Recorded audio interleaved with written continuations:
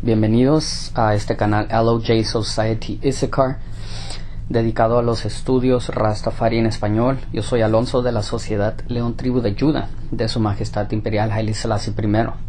Y gustaríamos continuar con lo que es la lectura semanal Rastafari número 26.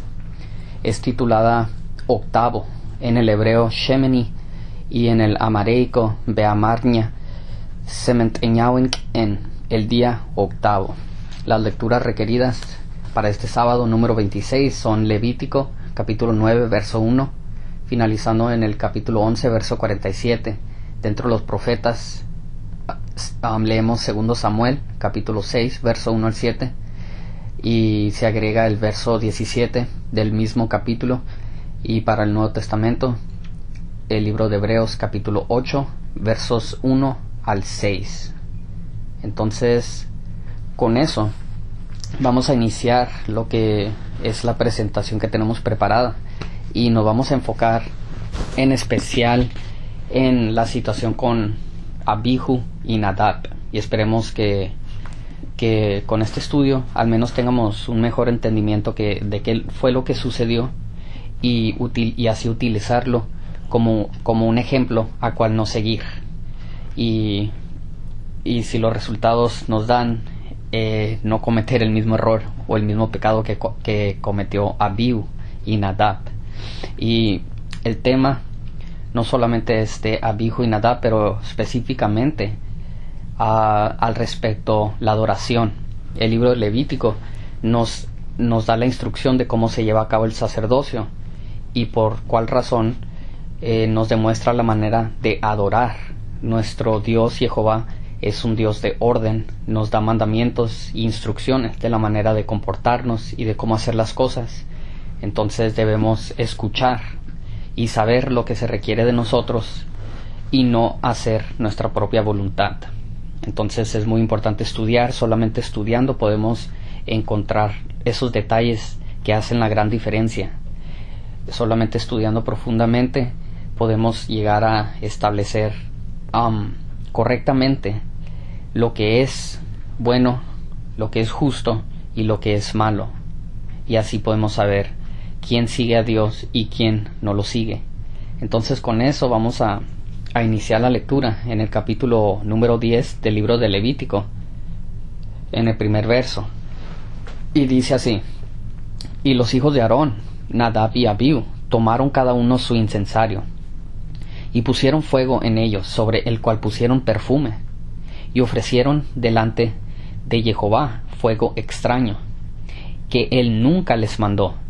Entonces Nadab y Abiú tomaron cada uno su incensario y pusieron fuego en ellos, sobre el cual pusieron perfume, y ofrecieron delante de Jehová fuego extraño que él nunca les mandó. Entonces um, Abihu y Nadab deciden, en este caso, adorar eh, de una forma que expresa su propia voluntad y no la voluntad del más alto, siendo que eh, Jehová nuestro Dios nunca les mandó hacer estas cosas. Tenemos que mencionar que cuando se habla del incensario y pusieron fuego en ellos, sobre el cual pusieron perfume, cuando se habla del incenso, el perfume, el humo, el sajumerio, eh, es una manera, es una sombra de bienes venideros eh, pero no la misma imagen de la cosa. Lo que tratamos de decir es que el perfume, el sajumerio, el incenso representa lo que en la realidad, en la manifestación de lo que es, representa los, las oraciones, los rezos y las alabanzas de los santos. Y pues vamos a mantener el tema como, como habíamos mencionado el tema lo vamos a mantener en lo que es la adoración y por cuál razón hemos explicado lo que, lo que representan estas cosas y igual vamos a, a estudiar un poco en más detalle lo que, lo que representa el fuego. Entonces vamos a continuar diciendo, y salió fuego de delante de Jehová, que los quemó, y murieron delante de Jehová. Entonces las consecuencias de haber ido contra la voluntad del más alto. Y con esto vamos a compartir lo que, lo que hemos encontrado dentro de las notas del, Old Schofield Study Bible, la primera edición, la, nuestra Biblia en inglés. Y así lee la nota respecto a libro Levítico, capítulo 10, verso 1. Dice, fuego delante de Jehová había sido encendido, había sido encendido sobre el altar de ofrenda encendida. El fuego de cual por el cuidado de los sacerdotes debía ser, seguir quemando, ardiendo o debía seguir encendido para siempre. La referencia a este comentario es el libro Levítico capítulo 6 verso 12. Rápidamente nos vamos a dirigir a él para no para no brincarnos esa referencia y dice y el fuego encendido sobre el altar no ha de apagarse sino que el sacerdote pondrá en él leña cada mañana, y acomodará sobre él el holocausto, y quemará sobre él los cebos de las paces. Entonces la instrucción de, como dice la, nota aquí, dice, um, fuego delante de Jehová había sido encendido sobre el altar de ofrenda encendida, el fuego sobre el, el fuego que por el cuidado de los sacerdotes debía seguir ardiendo de forma en que los sacerdotes cada mañana debían de mantener agregándole leña para así mantener ese fuego quemando eternamente. Y agregamos a eso que le agregamos que el fuego en este caso simboliza la uh, disculpen que el fuego en este caso expresa la eterna dedicación de Cristo. Por eso es que ese fuego debía ser mantenido ardiendo para siempre, eternamente. Y pues como lo hemos mencionado, estas cosas que se encuentran dentro del Viejo Testamento son sombras de bienes venideros y pues encontramos la realidad de la manifestación, disculpen, encontramos la manifestación de la realidad en la vida ejemplar de Jesús Cristo. Igual encontramos encontramos la manifestación de lo que es real en su majestad imperial Haile Selassie I.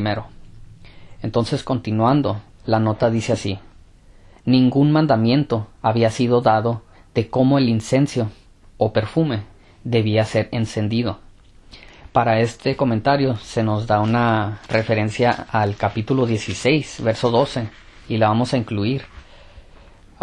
dice, después tomará el incensario lleno de brasas de fuego del altar de delante de Jehová, y sus puños llenos del perfume aromático molido, y meterálo del velo adentro. Entonces esa es la referencia a ese comentario.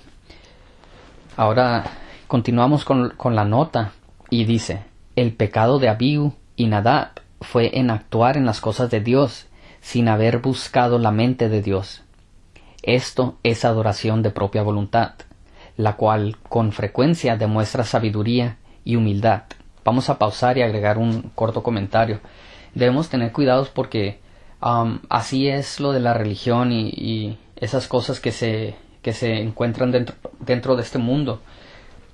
A veces, a veces parecen, bueno, como dice la nota, frecuentemente demuestran sabiduría y humildad, pero eso no significa que, que la forma en que adoran es correcta. Para, para realmente establecer nuestro ser la pura verdad al respecto que es aceptable ante el más alto, ante Jehová nuestro Dios, es necesario buscar la mente de Dios. Y qué mejores tiempos que los de hoy para hacerlo. El más alto nos ha bendecido con, con lo que es eh, lo que se refiere al Internet, que nosotros vemos como un tipo, una réplica de lo que es el Espíritu Santo, una interconexión entre lo que es entre lo que es uno. Pues a lo que vamos es de que eh, se ha cumplido esa profecía dentro del libro del profeta Daniel en donde dice que la, el conocimiento incrementará. Entonces, qué mejores tiempos para buscar la mente de Dios que en estos tiempos en cuales tenemos prácticamente, en unos casos más que otros, lo sabemos, pero al fin de cuentas tenemos eh, prácticamente todo el conocimiento que ha obtenido el hombre hasta el día presente bajo las puntas de nuestros dedos.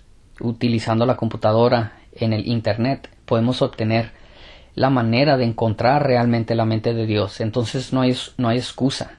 Antes tal vez, es, tal vez mucha información no era disponible a, las, a las personas común, incluso a los estudiados era difícil, tardaban 10, 20 años para, para completar un, un estudio. Pero hoy en día tenemos a nuestra disposición la habilidad de encontrar lo que es verdad, la completa verdad.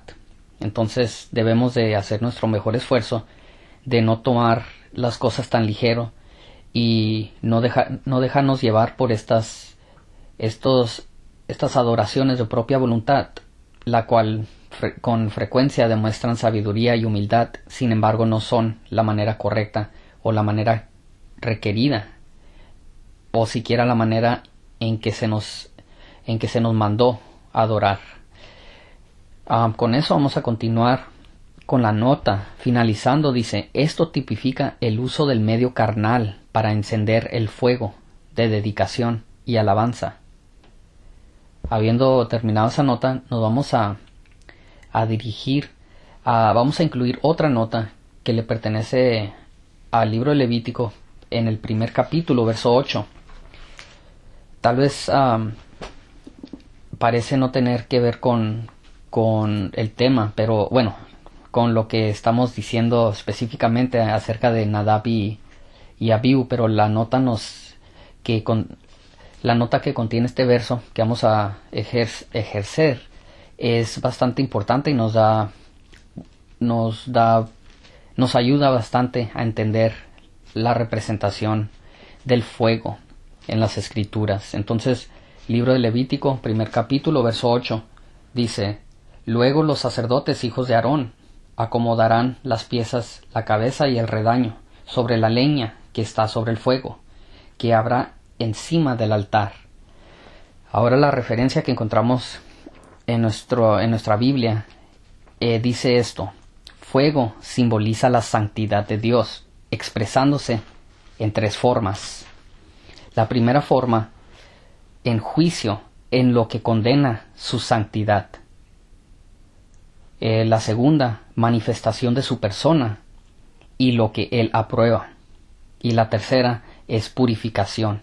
De hecho, podemos encontrar esto entre los versos que leímos y le vamos a agregar le vamos a agregar um, otros dos que vienen siendo que están dentro del capítulo número 9, el verso 23 y 24. Pero vamos a empezar con, con lo que es, eh, como dice, fuego simboliza la santidad de Dios, expresándose en tres formas. La primera, en juicio, en lo que condena su santidad. Y eso lo encontramos en el capítulo 10, verso 2, donde dice, y salió fuego de delante de Jehová que los quemó, y murieron delante de Jehová. Murió Abiu y Nadab. Um, ahí miramos una clara um, representación de cómo, cómo, es exacto esta nota en, al decir que el, que, que el fuego simbolizando la santidad de Dios se expresa en tres formas. En la primera que acabamos de describir es juicio, en lo que condena su santidad. La segunda dice de su manifestación, de su persona y lo que él aprueba. Y para eso vamos a utilizar el capítulo 9, verso 23 y 24. Dice, y entraron Moisés y Aarón en el tabernáculo del testimonio, y salieron y bendijeron al pueblo, y la gloria de Jehová se apareció a todo el pueblo.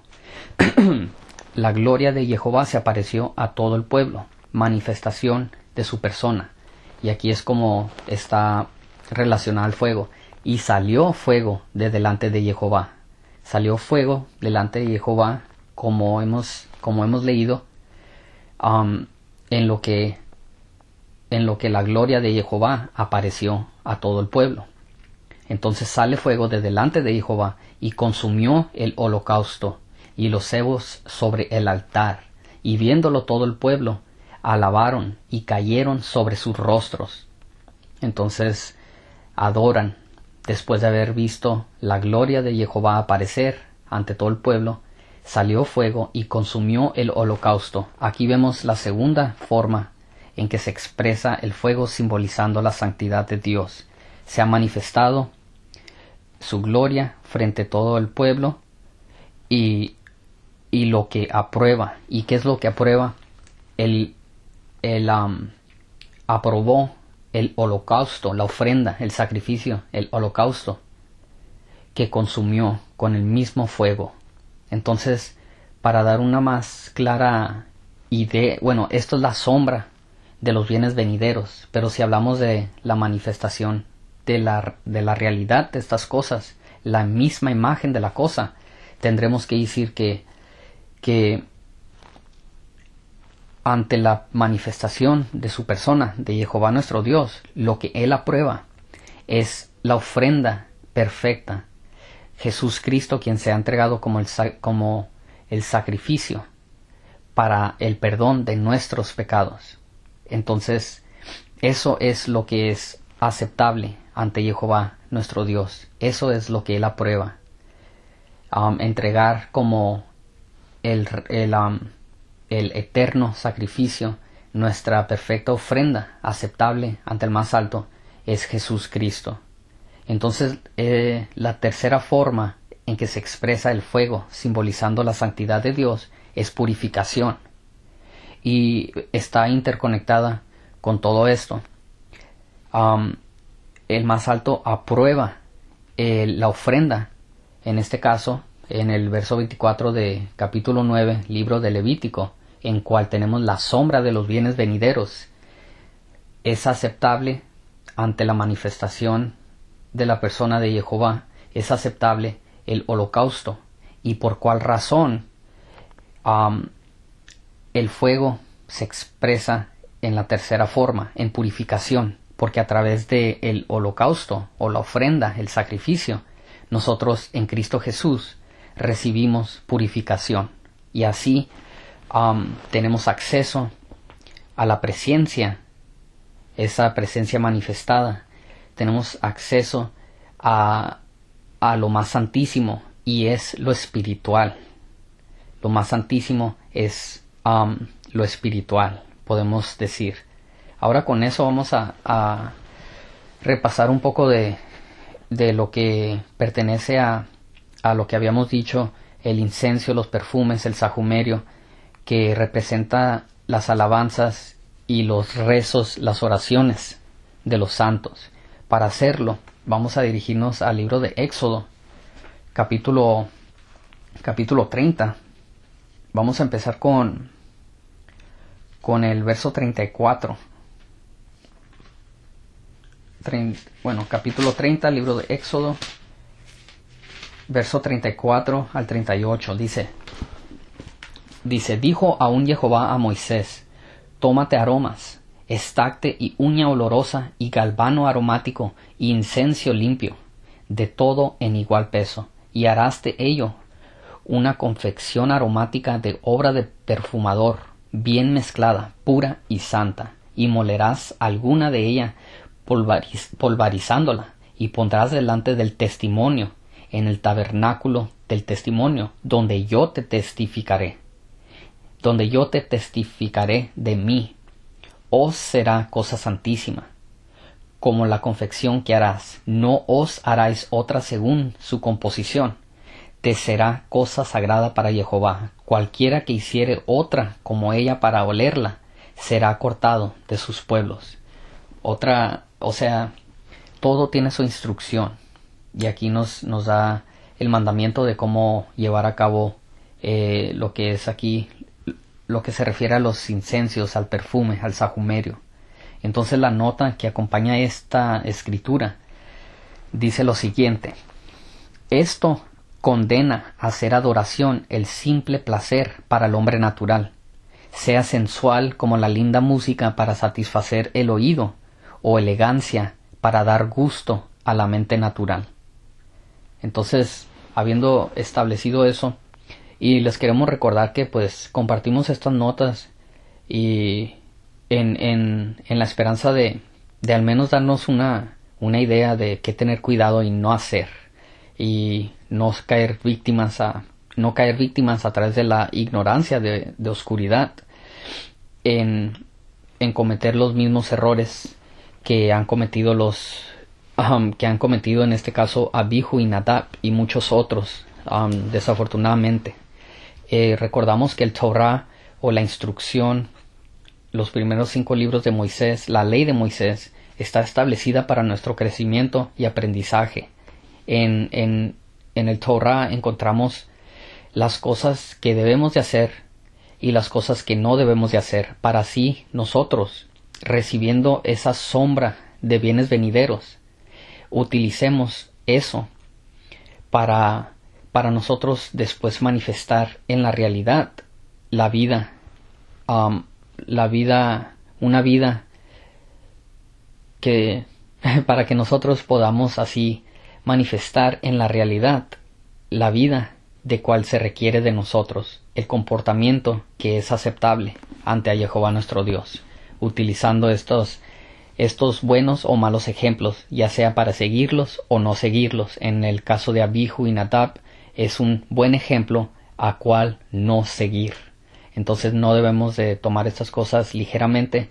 La adoración es, es sagrada y por cuál razón debemos de mantenerla de tal manera, separada y apartada a Jehová nuestro Dios, de cuál manera obedeciendo lo que Él requiere de nosotros. Entonces, continuando, vamos a dirigirnos igual el libro de Éxodo, capítulo 30, eh, verso 9.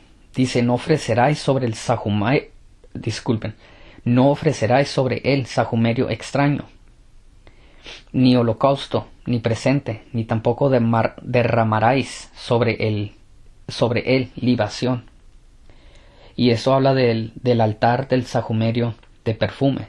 En él no ofreceremos sajumerio extraño, igual que se nos ha dicho, se nos ha demostrado que no es, no es recomendable um, ofrecer fuego extraño. Y con esto podemos compartir la, nota que le corresponde a esta escritura, que dice la, la escritura nos, nos, da dos prohibiciones.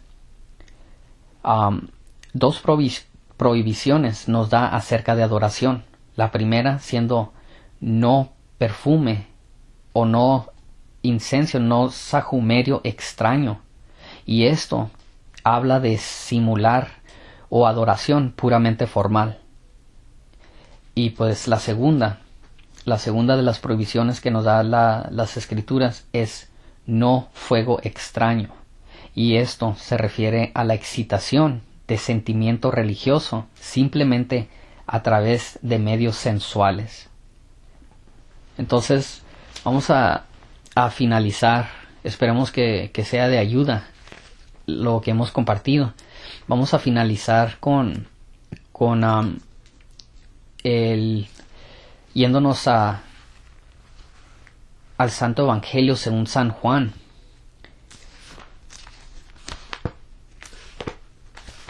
Capítulo 4, verso 23 y 24. Después de estudiar estas cosas, este tema, esta, esta situación con más, con más detalle y con más cuidado, eh, esperemos poder realizar lo que, lo que vamos a compartir ahorita. Santo Evangelio según San Juan capítulo 4. Por esta razón estudiamos esto. Dice, mas la hora viene, y nosotros decimos la hora ha llegado, y ahora es. De hecho Jesús igual um, dice, y ahora es, mas la hora viene, y ahora es cuando los verdaderos adoradores adorarán al Padre en espíritu y en verdad. Y esta es la meta. Um, eh, no, no ser como Abiu y Nadab y adorar expresando nuestra propia voluntad que es incorrecto, que es malo ante Jehová nuestro Dios, no es aceptable. Entonces, um, nuestra meta es obtener ser o llegar a tomar parte en lo que lo que dice aquí los verdaderos adoradores adorarán al Padre en espíritu y en verdad. Esto es lo que en lo que um, esta es la meta que nos proponemos, pues, o sea, la, disculpen, perdimos la idea eh, cortamente. Um, a esto, a esto queremos llegar, adorar al Padre correctamente, en espíritu y en verdad. Entonces vamos a repetir eso. Dice más, la hora viene y ahora es cuando los verdaderos adoradores adorarán al Padre en espíritu y en verdad, porque también el Padre, tales adoradores, busca que le adoren. Entonces el Padre busca tales adoradores y nosotros eh, podemos llegar a hacerlo en la gracia del más alto, pero igual tenemos que estudiar la manera de hacer las cosas correctamente. Continuando dice, Dios es espíritu, y los que le adoran en espíritu y en verdad es necesario que adoren. Con esto vamos a pausar, es lo que teníamos ah, preparado para, para esta lectura semanal Rastafari número 26 titulada Octavo. Esperemos que, que nos ayude en nuestro crecimiento y aprendizaje. Gracias a todos por continuar con nosotros. Shalom Rastafari.